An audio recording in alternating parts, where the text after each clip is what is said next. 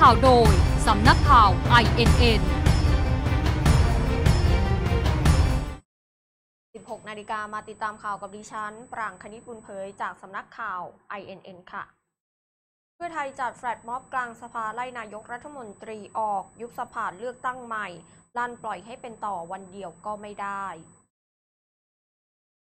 นาวากาศเอกอนุดิตนาคอนทัพ สส กรุงเทพมหานคร และเลขาธิการพักเพื่อไทย อภิปรายไม่ไว้วางใจนายกรัฐมนตรีว่า ไม่สามารถให้บริหารประเทศต่อได้แม้แต่วันเดียว และกล่าวหา 35 ข้อหา เพราะนายกรัฐมนตรีคุมทุกเรื่องเหมือนตอนคุมกองทัพ แต่ท่านไม่ใช่ยอดมนุษย์ เป็นเพียงแค่อดีตผู้บัญชาการทหารบก จนมีการตั้งฉายาว่าตู่ทานอสที่เที่ยวไปบงการ ดีดนิ้วคิดแทนคนอื่น อย่างเปรียบเปรยตามที่สื่อตั้งฉายาเป็นรัฐบาลเชียงกง และปล่อยปละละเลยให้มียาเสพติดเต็มบ้านเต็มเมือง ตนไม่คาดหวัง เพราะทำอะไรไม่เป็นทำอะไรไม่สำเร็จเจ๊งไปหมด ดังนั้นขอเรื่องเดียวขอฟังภาษาไทยให้รู้เรื่อง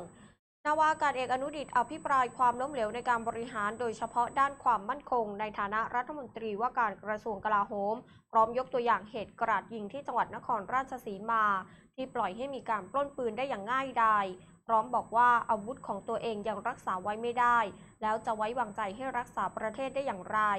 ในช่วงสุดท้ายที่นาวาอากาศเอกอนุดิตอภิปรายได้เปิดไฟฉายจากโทรศัพท์ พร้อมกับสสพักเพื่อไทยเป็นสัญลักษณ์แฟลตม็อบ ขอให้นายกรัฐมนตรีลุกขึ้นประกาศยุบสภา และให้มีการเลือกตั้งใหม่ เพื่อพิสูจน์ว่าประชาชนจะให้โอกาสเลือกท่านกลับมาบริหารประเทศหรือไม่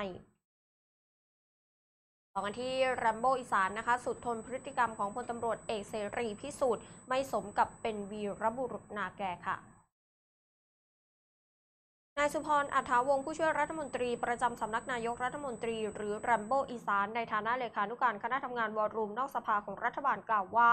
ตั้งแต่เช้าฟังการอภิปรายของสสฝ่ายค้านก็มีบรรยากาศเป็นไปด้วยความเรียบร้อย แต่พอมาถึงคิวอภิปรายของพลตำรวจเอกเสรีพิสุทธิ์เตมียเวทหัวหน้าพักเสรีรวมไทยที่พยายามอภิปรายพลเอกประยุทธ์จันโอชานายกรัฐมนตรี และรัฐมนตรีว่าการกระทรวงกลาโหม เรื่องการถวายสัตย์ปฏิญาณขึ้นมา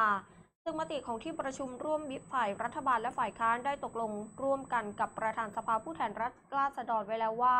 จะไม่มีการอภิปรายในประเด็นนี้ โดยได้โต้เถียงกับผู้ทำหน้าที่ประธานสภาคือนายสุภชัยโพสุรองประธานสภาผู้แทนราษฎรคนที่สองที่ทำหน้าที่ในขณะนั้น จนเกิดการประท้วงชุลมุนวุ่นวายทำให้สภาเสียเวลา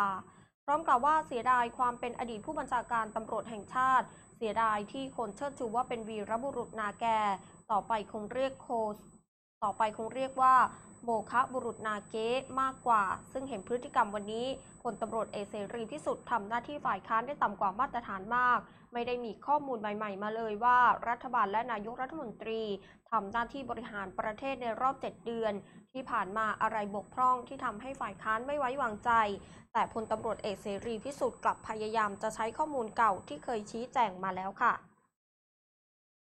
ปิดท้ายกันที่ลูกตาลฉลมจิตค่ะนางแบบดังฟ้องสองแม่ลูกเจ้าของร้านเพชร หลังถูกคู่กรณีบุกทวงหนี้ 1.4 ล้านบาทถึงฟิตเนส ก่อนนำคลิปเผยแพร่ทางโซเชียลค่ะ ที่ศาลอาญารัชดานางสาวทิพย์วันจันทรเกต หรือลูกตาลฉลมจิตนางแบบชื่อดังพร้อมด้วยทนายความนำเอกสารหลักฐานมายื่นฟ้อง นางสาวทิตาพัฒน์อัครศักดาพิรม และนางสาวไอยรินกนกเลิศวงศ์เป็นจำเลยในความผิด ฐานหมิ่นประมาทด้วยการโฆษณาตามประมวลกฎหมายอาญามาตรา 328 และพรบการทวงถามหนี้พศ 2558 มาตรา 11 จากกรณีเมื่อต้นเดือนกุมภาพันธ์ที่ผ่านมาจำเลยทั้งสองคนซึ่งเป็นเจ้าของร้านเพชร อ้างตัวว่าเป็นเจ้าหนี้ของลูกตาล ได้บุกเข้ามาที่ฟิตเนสย่าน RCA เพื่อทวงหนี้จำนวน 1.4 ล้านบาท โดยมีการถ่ายคลิปไว้ก่อนจะโพสต์ลงโซเชียลมีเดีย ลูกตาลชลมจิตกล่าวว่าตามที่มีการเผยแพร่คลิปทางโซเชียลมีเดียว่าสองแม่ลูกบุกมาทวงถามหนี้ ก่อนที่จะโพสต์ลงสื่อสังคมออนไลน์ เป็นที่วิพากษ์วิจารณ์ทำให้ตนเองเสื่อมเสียชื่อเสียงและส่งผลต่อธุรกิจ จึงยื่นฟ้องต่อศาลอาญาในวันนี้นายเดชาทนายความนะคะ ระบุว่าดูจากผู้จัดการของทั้งสองคนแล้วพบว่าเป็นความผิด เรื่องของพรบการทวงถามหนี้ ราะตามกฎหมายห้ามไม่ให้มีการทวงถามหนี้โดยเปิดเผยแก่สาธารณะ แต่ให้มีการชวนถามตามขั้นตอนของกฎหมายหรือตกลงกัน แต่ทั้งสองคนกลับถ่ายคลิปนำไปเผยแพร่ในสื่อสังคมออนไลน์ สร้างความเสียหายให้กับลูกความ จึงมาฟ้องร้องดำเนินคดีอาญาพร้อมกันนี้จะมีการพิจารณาฟ้องร้องเรียกค่าเสียหายทางแพ่งเริ่มละเมิดด้วยค่ะจบการเสนอข่าว 16 นาฬิกา 5 นาทีค่ะ